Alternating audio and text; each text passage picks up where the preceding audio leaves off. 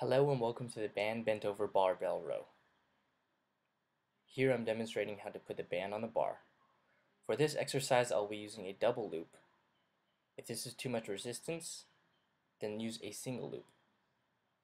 Repeat to the other side and make sure that you put a marker on the base so the bands are evenly placed when you put them on the bar.